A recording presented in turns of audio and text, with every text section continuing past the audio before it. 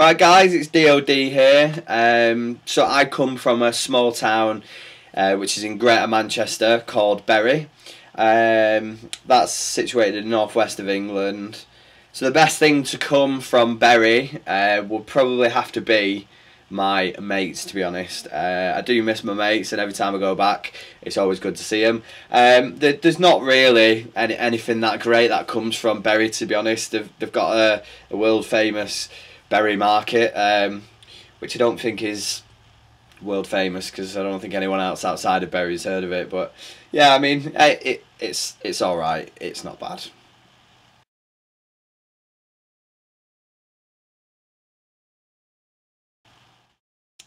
So I guess my main kind of inspirations that made me want to pursue a career in music uh, were the kind of original mashup DJs really. So DJs like Fatboy Slim, DJ Yoda, Scratch Perverts, Q-Bert, Grandmaster Flash, all those kind of DJs um, really really got my vote to be honest. And it, when when I first listened to to DJs like that, it wasn't just about mixing two records. It was just like, well, well, what would happen if I mix this record together, and what happens if I mix that record together? Like, will that go? How many records can I mix in a certain amount of time? And that made me start thinking really creatively. And I think from from that alone, um, kind of becoming a technical DJ from from listening to DJs like that, um, really just um, just just set set on my heart like yeah this is this this, this is what I want to do for the rest of my life.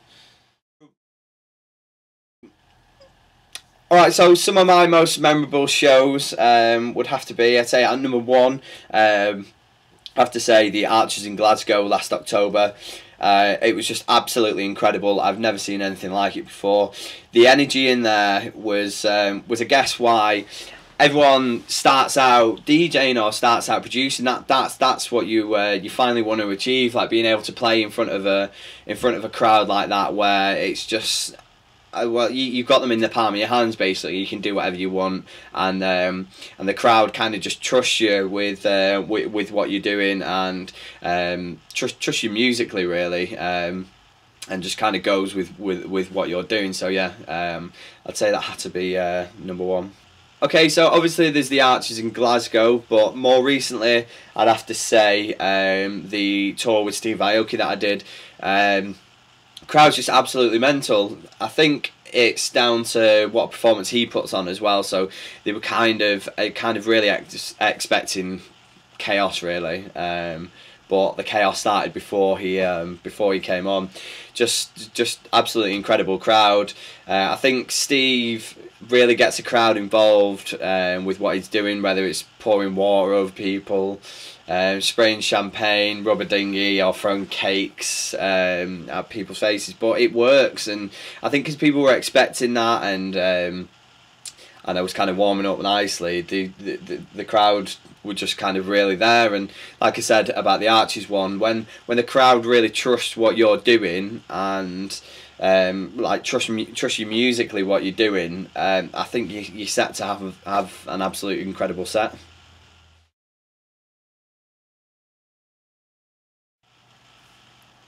So if you were to look through my iPod, you would get absolutely everything. To be honest, um, when I was growing up, my parents um, listened to uh, to a lot of Motown.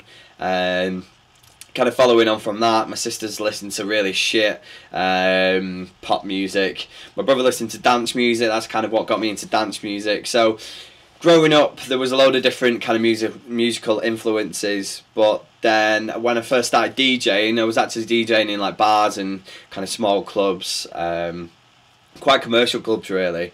Um, but it kind of paid it paid the wages on my mates were working in. Um, working in shops and stuff like that, and I, I was just able to DJ um, at the weekend. Um, not necessarily playing music that I wanted to play, um, but I did it just because it, it, it got me on the kind of ladder and got me on other people's radar.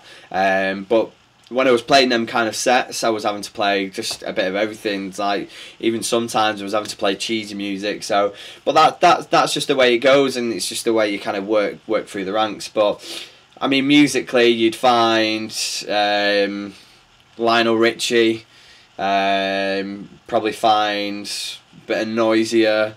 Uh, I mean, these are really random ones. Just trying to think of some artists. Um, you find some masters at work. Um, you'd find Skrillex. Um, and more current stuff um, with like acts like Hardwell and Nicky Romero. Um, they're kind of taking over my iPod at the minute.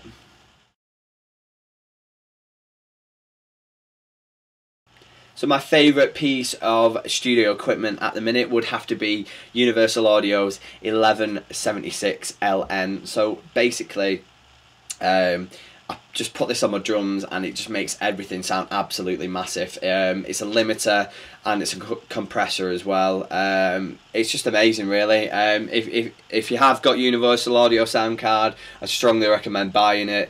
Um, and if you haven't, I'd strongly recommend buying it as well. It's just uh, it's just amazing. You don't get a sound like it.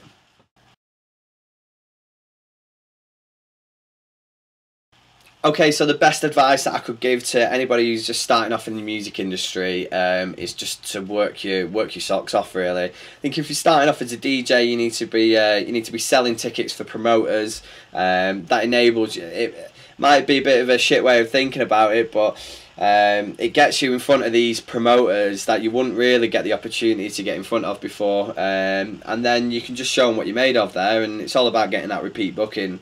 Um, following on from that. Um, don't turn your if you're starting off DJing. Don't turn your nose up at the um, the kind of commercial shows. Musically, it might not be for you, but it's a great platform to kind of take you to the next level, and um, plus you get paid for it as well. Following on from that, uh, just it's all about making records in our days. Like if you can make that hit record, you, you, are going to be pretty much set and get get good management behind you and a good agency. Um, but yeah, I mean, just just just work hard, and if, if you do want to start making records watch YouTube videos, do stuff like that because there's so many people out there on the internet that that want to help you, um, and it, and and it's great really. Um, it's just a nice big community um, of of producers. Um, so yeah, just um, just work really hard, and I truly believe that if you've got it inside you and you really badly want it, that that you'll make it.